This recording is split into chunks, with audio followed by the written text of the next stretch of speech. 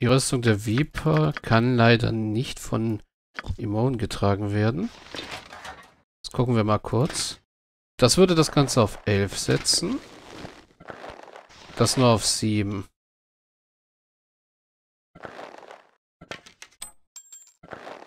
Ja, das würde Zauber deaktivieren. Das ist nicht so gut.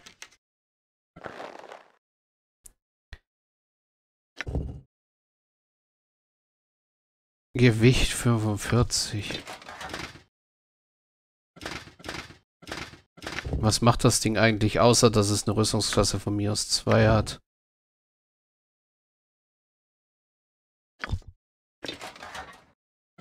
Dir würde das zugutekommen. Dir würde das einen Punkt geben, dir zwei Punkte. Das ist Oh, das ist äh, der Prunkharnisch, der Vierkampf. Okay, den solltest du anbehalten. Hm.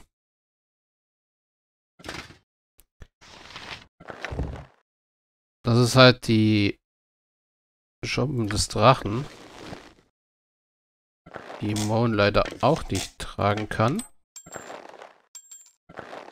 Ne, die, die aktivieren nämlich auch Zauber. Was irgendwie blöd ist.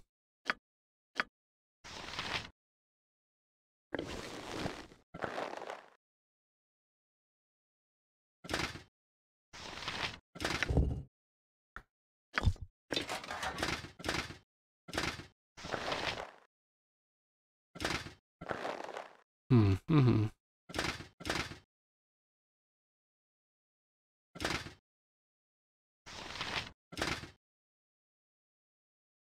Na komm, die Drachenschuppenrüstung können wir ja hier drin auf, aufbewahren.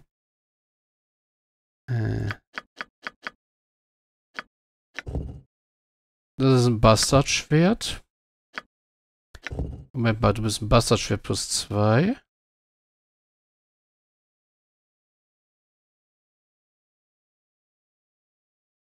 Das könnte eigentlich theoretisch verkauft werden.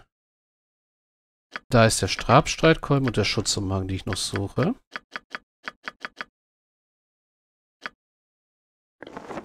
So.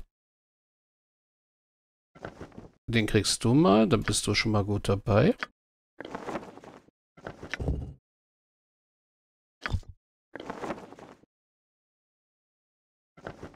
So machen wir das lieber so dass Immun auch mal Minus hat, weil sie hat ja schon hier Minus von 5 durch das Schild unter anderem und die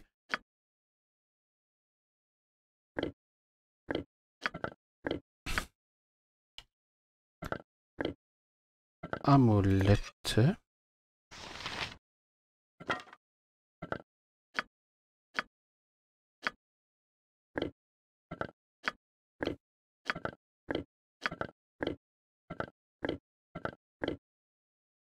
So, und damit ist der Behälter auch schon mal wieder voll.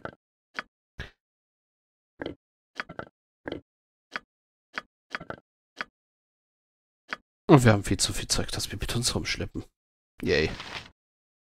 So, bei Kero sieht alles gut aus. Bei Minsk sieht auch alles gut aus.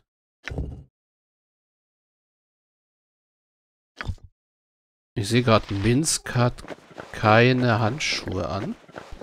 Dann nimmt er mal die, die Hast beschwören. Na, ansonsten hätte ich ja, glaube ich, nur noch die Taschendiebstahlhandschuhe.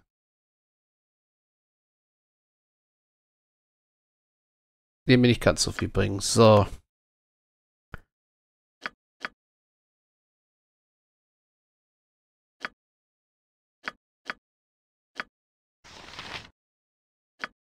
Also bei dir ist alles wieder im Lot. Du bist voll ausgerüstet mit allem.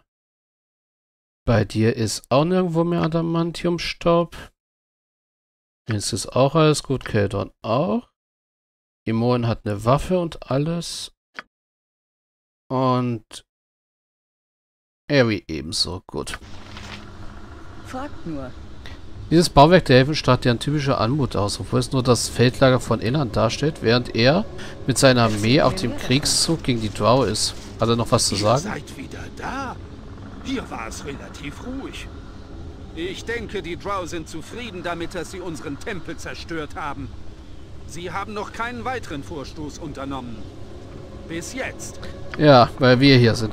Meine Weisen, Weisen erkennen keine Artefakte. Ihr habt die Latour noch nicht an euch bringen können. Denkt dran, ich habe euch empfohlen, bei den Hilfe zu suchen, denen ihr auf euren Reisen begegnet seid, wenn ihr Hilfe braucht. Ja, gucken wir uns mal das Tagebuch an. Genau, die Verfolgung von Bodi und Irenikus, das ist immer noch hier drin.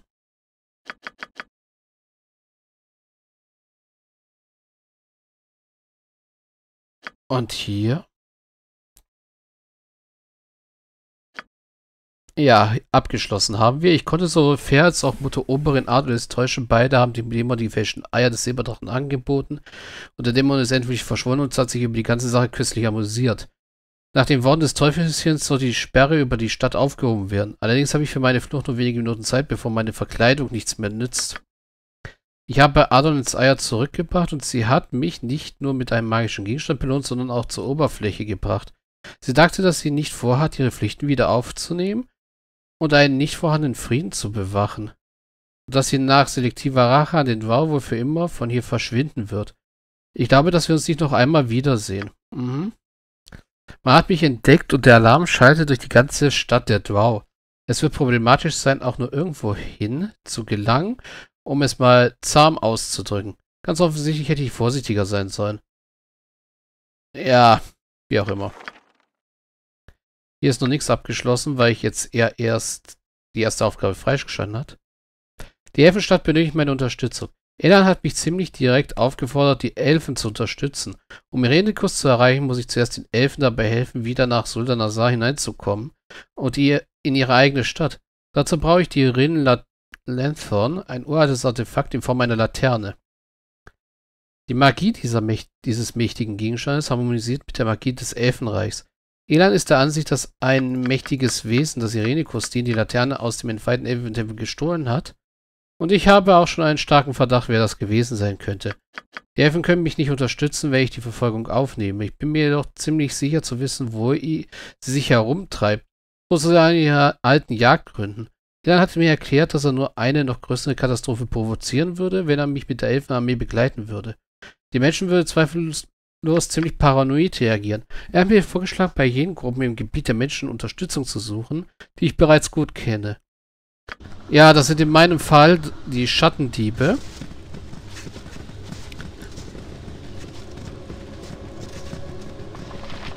Ich werde langsam müde. Könnten wir nicht eine Pause machen? Und die... Der Orden des strahlenden Herzens. Wisst ihr, ich könnte jetzt wirklich ein wenig Ruhe vertragen.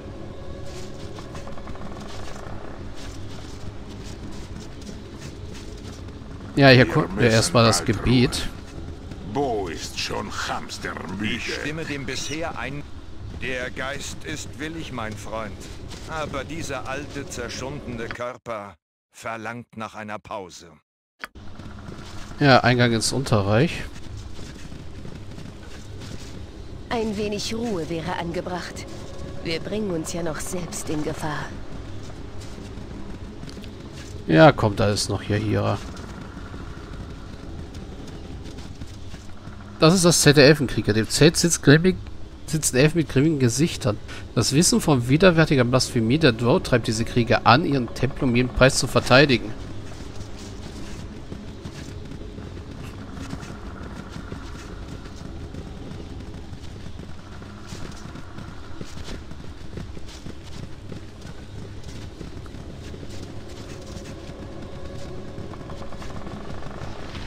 Ja, hier sind Elfenkrieger und der General.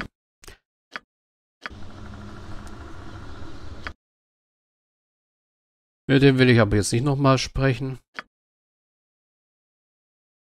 Also ja, wir haben noch die drei äh, Dinger zum Abklappern. Das werde ich aber erst machen, sobald ich in der Stadt war und erstens mein Inventar geleert habe, zweitens gerastet habe und drittens ziemlich viel beim Schmied erledigt habe.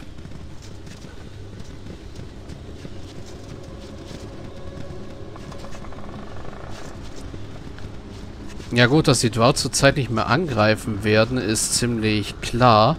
Weil wir haben ihre Ordnungshierarchie da unten ziemlich über den Haufen geworfen.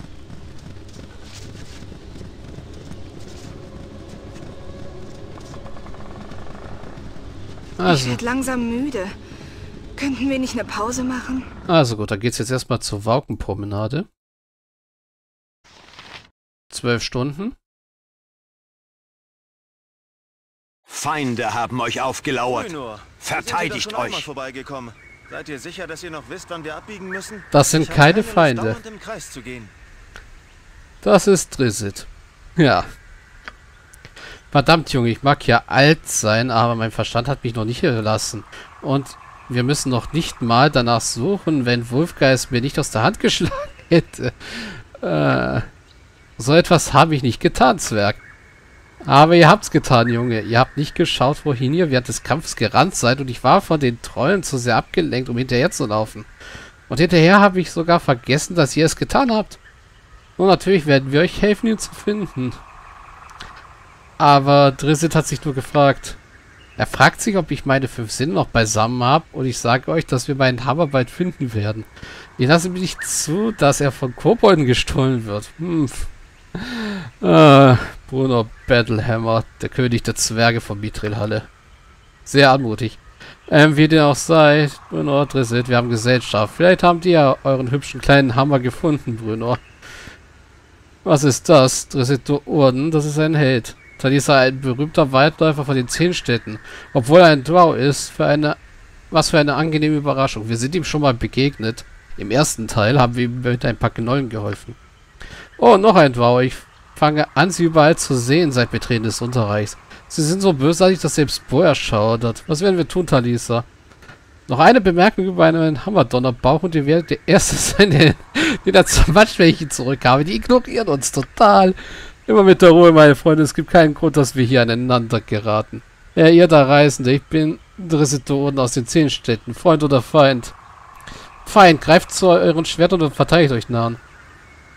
Ich habe jetzt noch keinen Grund, gegen euch zu kämpfen, Drow. Ich bin euch freundlich gesonnen, Drizzt. Wir haben euch gehört. Sehr schön. Sagt mal, habt ihr unterwegs in der Nähe einen, äh, einen rosafarbenen Kriegshammer gesehen? Rosa? Verdammt. Drizzt, mein Hammer ist nicht rosa. Nun, Brüder, ihr müsst doch zugeben, dass er seitdem Sirini damals verzaubert hat, schon ein wenig rosa wirkt. Er ist rot. Rot, sag ich.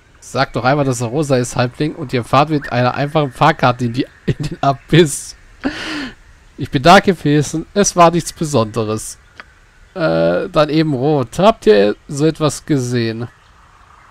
Äh, nein, habe ich nicht. Bei Moradins Atem, er muss hier irgendwo sein. Dann werden wir noch eine Weile nachsuchen, Bruno. Habt keine Angst. Früher als in zwei Wochen erwartet man uns sowieso nicht in die zehn Städte zurück. Sagt mal, sind wir uns nicht schon mal begegnet? Euer Gesicht kommt mir bekannt vor, aber ich kann keinen Ort oder Zeit damit in Verbindung bringen. Sollte ich euch kennen? Das letzte Mal, als wir uns trafen, tötete ich euch in der Nähe von Baldur's Tor und es ist eine Schande, dass ihr nicht eben tot geblieben seid. Es ist an der Zeit, das zu korrigieren. Eigentlich habe ich euch das letzte Mal, als wir uns begegneten, in der Nähe von Baldur's Tor angegriffen. Nein, ich glaube nicht. Wir sind uns nur kurz begegnet. Ich half euch ein paar Knolle in der Nähe von Baldur's Tor zu besiegen. Das wart ihr? Schön, dass ich euch wiedersehe. Es ist ein gutes Gefühl zu sehen, dass andere anständige Leute auf diesen Straßen reisen. Besonders angesichts der Gerüchte und Gefahren, die überall lauern sollen. Wenn ihr Hilfe braucht, stehe ich euch gern zur Verfügung. Wenn nicht, wünsche ich euch alles Gute und wir werden uns wieder auf den Weg in den hohen Norden machen. Ich brauche zurzeit nichts. Lebt wohl. Ich habe euch einen Vorschlag zu machen, Drizzt, wenn ihr wohl einen Moment warten möchtet. Bleib stehen, du aus. Vielleicht kommt ihr mich davon. Ich habe entschieden, dass es für euch an der Zeit ist zu sterben. Nein. Nehmen wir die zwei. Ein Vorschlag, na gut. Ich habe nichts dagegen mehr anzuhören, was ihr zu sagen habt. Wenn ihr euch helfen kann, werde ich das tun. Ja, ich bin Talisa und ich will gegen einen Vampir Nat Cutler kämpfen, der zu stark ist, als dass mir ihm allein gegenübertreten könnte. Würdet ihr vielleicht helfen? Ach, vergesst es einfach, dass ich etwas gesagt habe. Nehmen wir die 1. Ich habe das Gerücht über die Kreatur gehört, aber mir ist ebenso zu Ohren gekommen, dass sie, dass sie und ihre Korten vernichtet wurden. Behauptet ihr, dass das nicht stimmt, dass sie immer noch lebt? Ich vernichtete ihre Gilde, aber sie entkam. Jetzt ist sie zurückgekehrt und zwar noch stärker als zuvor. In der Vergangenheit habe ich bereits Erfahrung mit solchen Kreaturen gemacht und mir ist ihre Macht wohl bekannt. Wenn das, was ihr sagt, stimmt, dürfen wir nicht zulassen, dass sie weiter existiert. Ich werde euch euren Kampf unterstützen, Talisa. Es gibt auch Dinge, die zuvor erledigt werden müssen. Wo lebt diese Kreatur in Alt-Cutler? In den Grüften unter den Friedhofsvierteln. Ich glaube, ich kenne die Gegend, von der ihr sprecht. Na gut, wir werden uns dort mit euch treffen, wenn ihr bereit seid, euch unter die Oberfläche zu warten, wagen. Bis dahin, Talisa. An einer Seite mit Dritzit kämpfen. Großartig. Es werden die Kräfte des Rechten wahrlich über die, das Böse obsiegen. Ich finde es irgendwie cool, dass Keldorn einem Dunkelelfen so offen gegenüber ist. Weil Drizzt ist aus den Büchern, die ich gelesen habe. Da gibt es, glaube ich, 15 Bände insgesamt. Und ja, in den meisten sind, sie, sind die Leute, Dunkelelfen, halt immer noch skeptisch. Wir haben ja in den letzten paar Aufnahmesessions gelernt, warum. So, Wagenpromenade.